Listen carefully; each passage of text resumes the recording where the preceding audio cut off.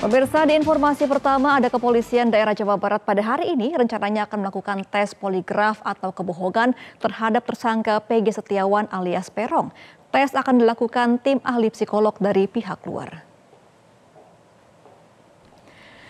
Setelah menjalani tes psikologi forensik selama dua hari, yakni hari Sabtu dan Minggu, Peggy Setiawan alias Perong akan menjalani tes kebohongan atau poligraf.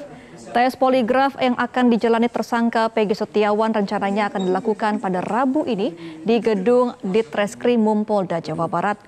Kepala Bidang Humas Kepolisian Daerah Jawa Barat, Kombes Pol Jules Abraham Abbas, menjelaskan serangkaian tes psikologi merupakan permintaan dari penyidik yang akan dilakukan oleh tim psikologi forensik dari luar.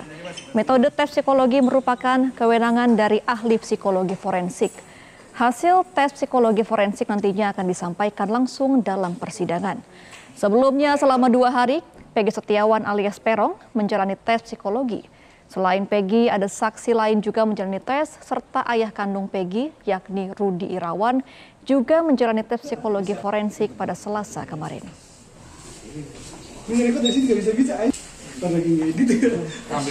terkait metode yang digunakan apakah dengan menggunakan metode-metode yang uh, digunakan juga oleh ahli psikologi forensik lainnya itu menjadi kewenangan mutlak dari tim ahli psikologi. Kami tidak bisa menyampaikan di sini terkait dengan metode apa saja yang dilakukan karena ini tentunya akan menjadi proses dan akan disampaikan dalam uh, proses di persidangan.